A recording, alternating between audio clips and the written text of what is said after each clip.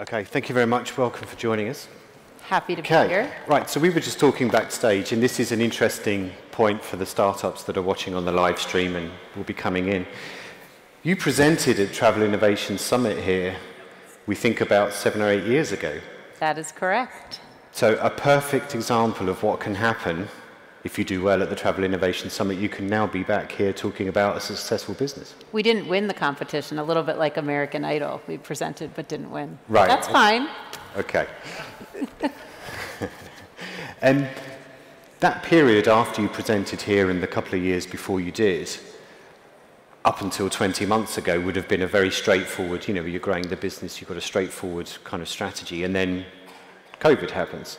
So, what has Clear been doing or trying to do over the last 18 to 20 months?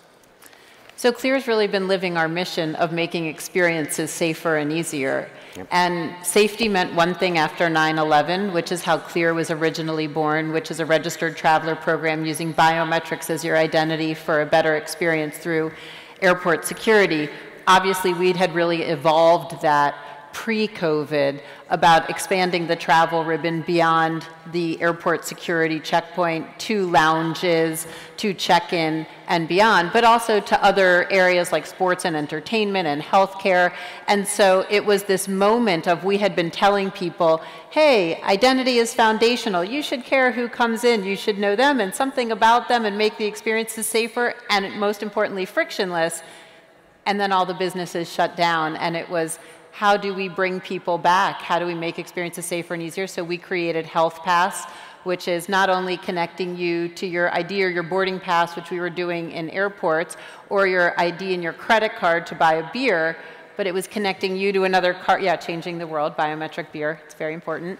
Uh, but changing, uh, but connecting you to what we thought was going to be another card in your wallet, and that was your vaccine card. So we created Health Pass and also connected people to their test results to help people come back better. And that's been material not only in travel but beyond. Other than those things, I mean, over the last 18 months, how have you seen the market change? Despite the not much marketing going on in, in terms of travel? Well, I think the market has changed on, on two fronts. One, partners, so that can be travel partners or sports teams or restaurants or enterprises have said, how do we get people back restore confidence and make their experience better and safer. And consumers have said, I just sat at home for 18 months in lockdown. I got everything I wanted at the push of a button, right? Every show on my TV, tacos on my couch. I want that experience as I re enter the physical world. I expect a more frictionless experience. And so I think the exciting thing is when everyone's expectations change and I think lift, the ability to bring technology and partnerships, innovations about bringing people what they did not know they wanted.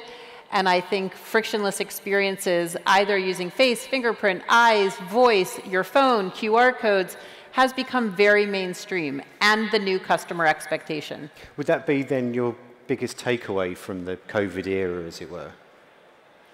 Oh, there's so many takeaways.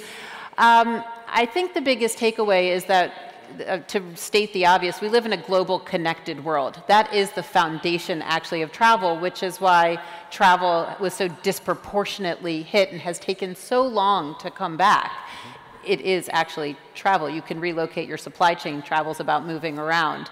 And so this view that this global connected world is only getting more connected and how do we ensure that we never shut down again and how do we create this frictionless omni-channel experience to serve our partners and help them serve their customers? Mm-hmm. Th- those would be, I think, two of the, the, main ones. Okay, so what would you say there, if, if there have been any kind of issues with usage and consumer and other things that have been going on, especially with around the health pass?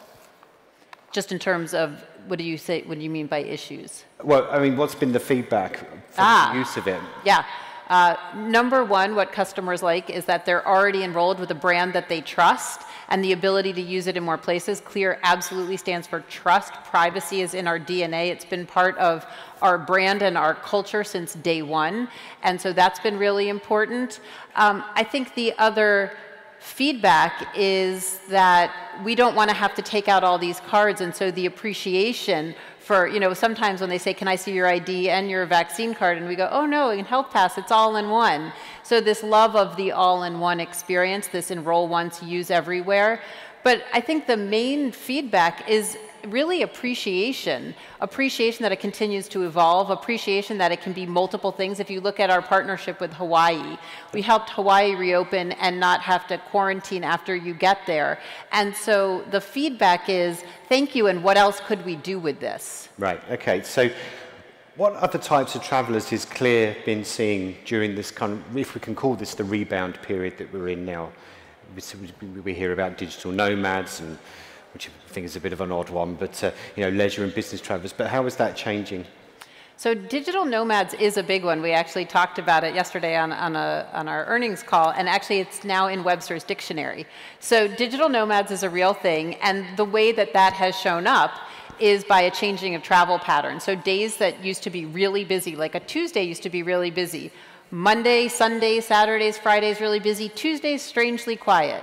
And so I think when you look at the hybrid work environment, a lot of people are showing up in the office Tuesday, Wednesday, Thursday, and going somewhere else, which at some level is that business travel. If you're traveling and working from someplace else, but not visiting a, a customer, yeah. uh, right? But actually just working from someplace else. What kind of travel is that?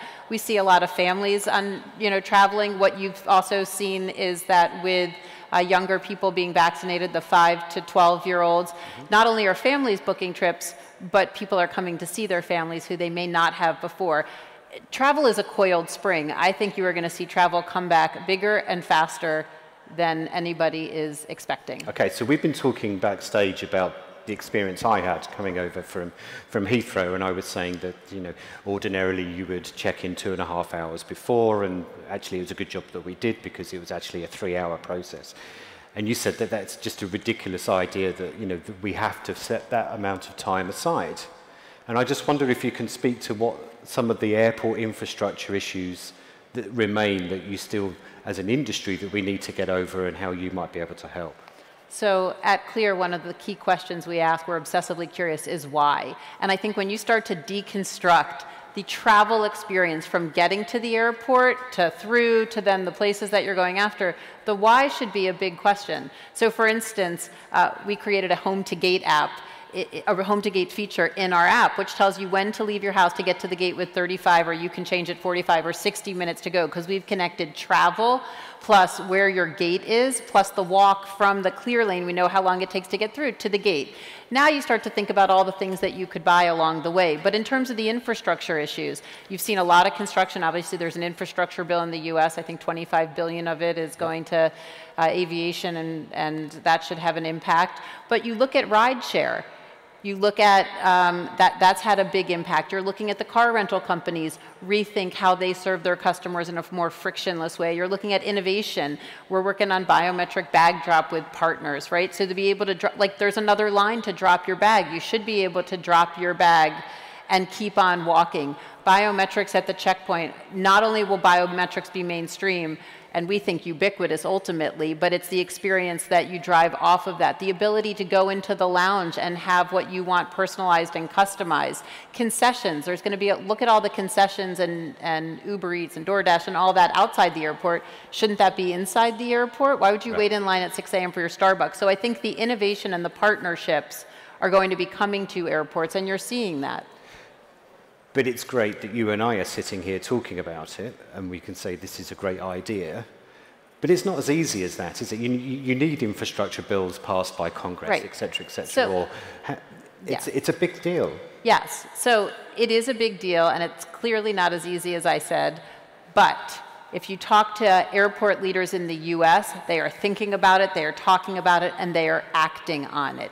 If you look at what's happening with so many of the travel companies, the rideshare companies, the Airbnbs or bookings, or, you know, um, they're all starting to put it together. So I think you have a lot more capital focused on it, both government capital and private sector capital. I think innovation like what Clear is bringing, is allowing you to have both frictionless and safe. I mean, what we talked about before we came out here was in a post 9 11 environment, that which made it safer made it more challenging.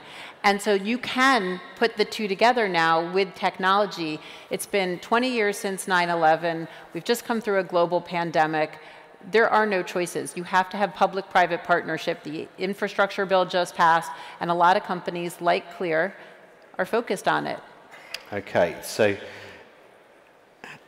going back to the biometrics thing, which I think is really, really interesting. So how do you, Clear, and maybe other airlines, airports, kind of reassure travellers who might be, you know, dare I say, wary or nervous about biometrics, just as a concept, because, you know, a passport is a piece of paper, you know, is a card in their pocket or it's the clear pass on their phone. That's one thing. But moving to something which is about their physical being almost yeah. is, is another leap forward. And there is some hesitation about that. And rightfully so. So first of all, my passport was stolen a few years ago, and it's equally nerve-wracking when yep. your passport is, you know, wherever. Uh, and why should you be stuck in a foreign country when you're trying to say, "I am me," right? I can't get back. I'm I, like biometrics work. Uh, we are very focused on privacy done right, and that again has been a core theme of Clear since we started in 2010. And so I think that you can have companies whether it be airline companies or Clear or other companies, really focused on privacy done right. We do not sell, share, or rent data. We secure the data, we encrypt the data. And so it's an interesting point. Faces are all over the internet. You can pull anybody's face down from the internet, right? And so actually doing it in a secure and trusted and transparent way, we think, and HealthPass was the start of this, giving people access and control of their information, having them always opt in and showing what they are sharing before they share it. We think there's so many ways, not only on the cybersecurity side, but on the privacy side, to really do it right, to drive that trust, and utilization then comes over time.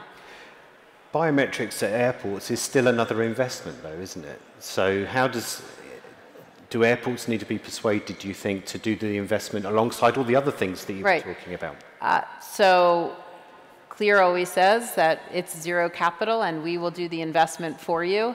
And I think that that is really part of the public private partnership. I agree with you. I think that uh, companies need to not be selling hardware and warranties, but you actually need to be selling services and helping partner with airports to drive revenues and returns. And so, again, in the world of win win win, we focus on driving revenues, creating better customer experiences so they travel more. There's a lot of surveys that say if you had a better experience, dare I say a frictionless experience, you're more likely to travel. Right. And uh, ensuring safety as well. So, and the infrastructure piece from a biometric perspective is quite low. Right, okay. I mean, it's a common journalistic trope. You ask people when you're running out of questions, you say, what's, what's the pain point that still needs to be solved? And nine times out of ten, they always say, it's the airport experience, right? Um, Would you agree still? is, there an, is there another thing that you still think needs to be solved that Look, maybe I you think can the help The airport experience is challenged for understandable reasons, right? Um, and I think that that is the opportunity that we see so ripe for improvement. But I would also argue that when you start to look at cruises, when you look at checking into a hotel, again, it's a smaller box than trying to get through an airport where not only is there security and airlines and bags and like you're trying to do a lot. It's a really hard job.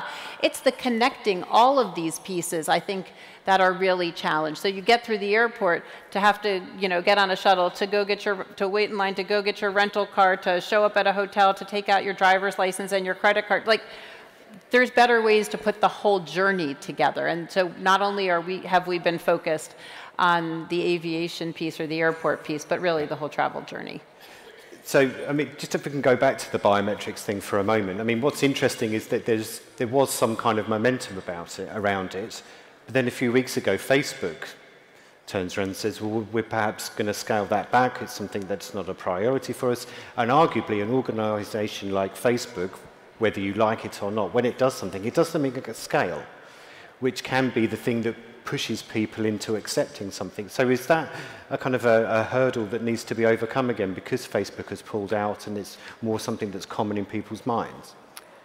So I can only talk to the companies who have been really focused on privacy from day one and opt-in from day one. And so I don't know, I don't work at Facebook, that people knew right. what was being shared and how it was being shared. So I really think it talks to privacy done right. And I think you're seeing so many companies now come out on the other side and talk about the things that they're doing. And driving transparency, we have a very public privacy policy where we talk about what we do and how we do it. And in bold, it literally says we will not sell, share, or rent your data. And so I think that um, Facebook needs to do what they need to do for their company. And there's many companies like Clear who have been saying the same thing for over a decade about privacy. And it is this moment where privacy done right and ensuring the security and privacy of people's data is more important than ever. And those brands that stand for trust, I think, have uh, enormous opportunities to drive customer experiences and to bring partners better experiences as well. Okay, so so much of this is based around collaboration and you need partnerships, whether you're an airline, an airport, the federal authority or the local authority that runs the airport and all those kind of things, the technology providers. There are often multiple standards running different things, all part of the different food chain. Let's just stick with aviation for a moment. Can we get all of those parties unified, and we're going back to utopia and things, but right. can they all kind of come together and just thrash it all out and agree on things? Or are we always going to be these disparate types of systems? So it does sound utopian. Passports, people have passports, and there's some sort of standards for how passports are issued and the form factor they're in. I do think that you need standards, and I think that the aviation industry, also the cruise industry, right, because of the global connected nature, um, has come out with standards for many parts of their business. And I do think that you need consistent standards, but probably not a consistent provider. And I think you are seeing that. Um, Clear has joined many groups that are focused on standards. So I do think you need a common understanding if I'm entering your country what that means and what security and safety look like. But you're not going to have one global provider. That's definitively too hard. Indeed, but to provide a standard, should that be, for example, IATA's role? They provide standards for lots of other things, NDC. Do you think it should be them or should it be another organization or what? That I do not know. I mean, I think federal governments need to come together and decide some basic standards that work. Okay, so you know, Clear started out as a, almost like a member service. It was a way to speed you through the airport, and it was great. And you could do all these things. Then, obviously, as as we started off this interview by talking that the, you know COVID-19 has given you a different dimension to the business. Talk to us a little bit about what else you might do as a member service, forgetting Health Pass if we can for a moment. What else? Where can it go from here? So we really talk about you are always you, and Clear connects you to all the things that make you you, hence our ticker symbol YOU. Uh, and so identity are right not only your driver's license your credit card your building access card your employment and your covid status your loyalty your frequent flyer number and so for different use cases you would use different parts of your identity to create that frictionless experience. To get into your office building, it's I'm Caryn, I'm employed by Clear, and uh, you know I'm allowed in the building, and I'm vaccinated. Those are the four pieces of my identity that I need to get into my office. To go to Hawaii, I'm Caryn, I'm frequent flyer number, whatever. I have a boarding pass, and I'm vaccinated, so I don't need to be quarantined. That's what I need to get onto the plane there. So there's different pieces of your identity that you need to enable these frictionless experiences. And that's what we're about, and we're about giving people access and control of their information to use as they want to enable these experiences. And that you should only have to enroll once, not 100 times in 100 different services. So we started off by saying seven or eight years ago you were on the stage here and look where you are now. If we were to ask you what kind of a company would Clear be in seven or eight years, what would you say? I would say Clear would be a global company. Today we are still in the US, and so that's something that we're very focused on. And that Clear will be a company enabling connected, frictionless experiences in travel and far beyond. Okay. A follow on to that. Is it difficult to expand overseas for a company like Clear? Um, the answer is that every year it's been on our roadmap, and then we get a little distracted. The past 20 months have been a different distraction. This is true. Um, I think the privacy standards we have here, we are GDPR compliant and things of that nature, so I think that's important. I'll tell you in a year or two. Okay. Uh, Caryn Seidman Becker from Clear, thank you very much for joining us. Thank you very much, everybody.